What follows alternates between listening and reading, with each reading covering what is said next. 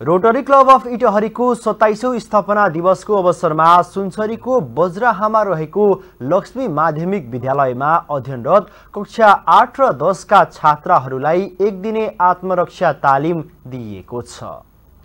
छात्राहरूमा परिआउने सुरक्षालाई मध्यनजर गर्दै रोटरी क्लबले छात्राहरूको सुरक्षाको लागि तालिमको आयोजना गरेको क्लबका अध्यक्ष माधव नेउपानीले जानकारी दिएका छन्।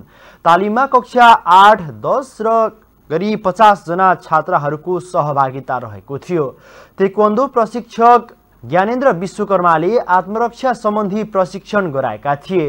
रोटरी क्लब अफ इटहरीका अध्यक्ष माधव न्यौपानीको अध्यक्षता तथा रोटरी क्लबका पूर्व अध्यक्ष राजेश श्रेष्ठको प्रमुख आतिथ्यतामा भएको रोटरी क्लब अफ इटहरीका पूर्व अध्यक्ष लगायतको सहभागिता रहेको थियो।